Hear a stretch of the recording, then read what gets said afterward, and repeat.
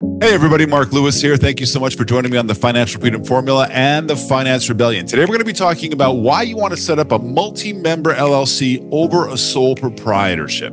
A sole proprietorship is where your CPA typically sets you up, thinking that they think that you, it somehow gives you a benefit in asset protection, which it absolutely doesn't. It seems like it might give you a benefit in taxation, which it also absolutely doesn't, and maybe giving you a benefit in legacy preservation, which it clearly doesn't. Why do I say it doesn't do any of those things? Well, let's look at the facts.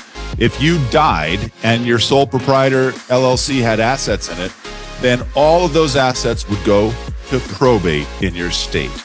That's no bueno. We, that's zero legacy preservation. For asset protection, if you got sued, it's very, very likely that the judge or the prosecuting attorney would just lop in everything in your sole proprietor LLC with your social slave number and say that you're really just being an alter ego of yourself and there's no protection there. And then, of course, in the tax reduction side, although you do have deductions, you have those same deductions as a doing business as or an independent contractor.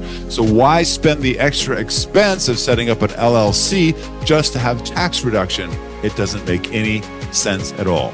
However, on the multi member side, there's so many more capabilities that are available there that your CPA probably didn't set you up with because most of them don't understand how it works.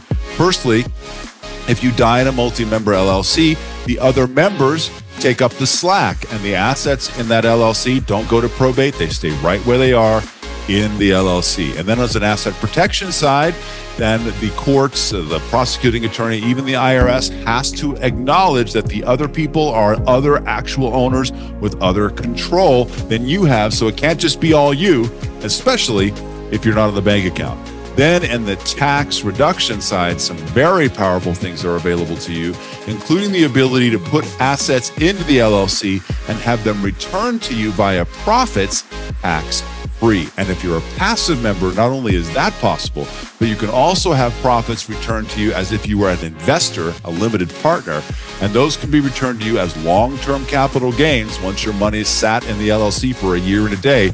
Long-term capital gains, as of right now, the, the beginning of 2024, are taxed at 0% up to $44,000 and up to 15% on anything up to a half million. It's the best taxation in the United States, and you can only get that in an LLC. Some really, really great things that are available in a multi member LLC, but not everybody knows how to set that up, and certainly your CPA almost certainly has no idea.